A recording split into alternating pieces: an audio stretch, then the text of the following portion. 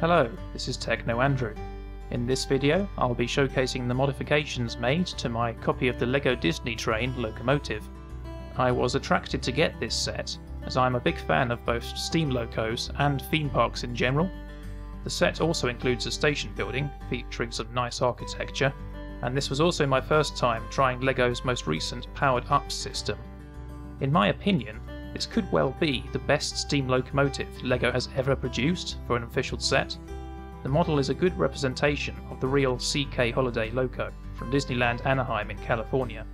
It also uses some interesting building techniques to create an attractive looking engine, particularly around the boiler area. As much as I like it, there are some clear areas for improvement. The most obvious shortfall being the lack of realistic connecting rods, and the pistons being attached to an outside frame bogie. The driving wheels are set up to articulate from the main body, similarly to LEGO's earlier Toy Story train set. Another clear error on the model is the colour of the boiler.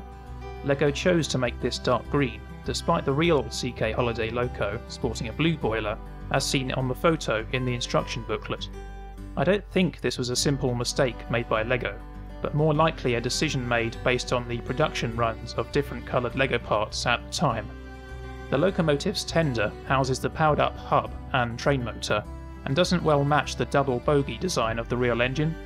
However, for the time being, I'm making do with it, and may revisit it at the later date. Finally, the cab leaves a fair bit to be desired. There is minimal detailing, and a large gap appears where the footplate would be in order to allow the driving wheel assembly to pivot. And here is my completed version. I'm pleased with the result, in which I've tried to keep the charm and character of the set, while also giving it a more mature finish. In order to accommodate the improvements discussed, the Loco is a stud longer in length. This was achieved by extending the smoke box and moving other parts accordingly. I've also adjusted the proportions by shortening the chimney and raising the cab roof, each by one plate. The main driving wheel chassis is now fixed to the Loco body, along with new fixed cylinders that allow the connecting rods to function properly. The bogie is redesigned with a low profile frame, which allows the wheels to pivot clear of the cylinders.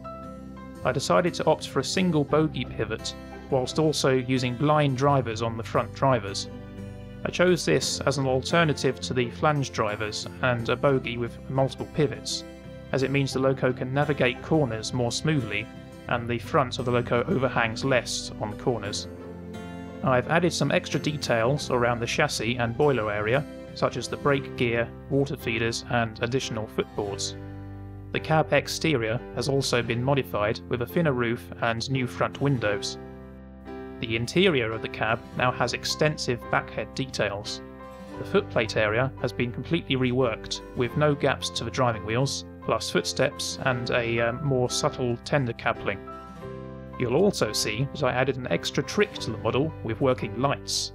An LED in the cab represents the glow of the oil fire, which was inspired by a video I saw taken in the cab of the real Loco. Since the powered up lights come as a pair, the model also has a working front headlamp. The hardest part about this was routing the wire through the centre of the Loco. The headlamp itself is slightly compromised in shape, but I think it's worthwhile. The model is really fun to run in the dark, with the headlamp lighting the way ahead and the cab illuminated by the fire. And that about covers it for my modifications of the engine. This was a fun exercise allowing me to personalise my model and bring it closer to the standard of my other LEGO Train MOCs. Thanks all for watching,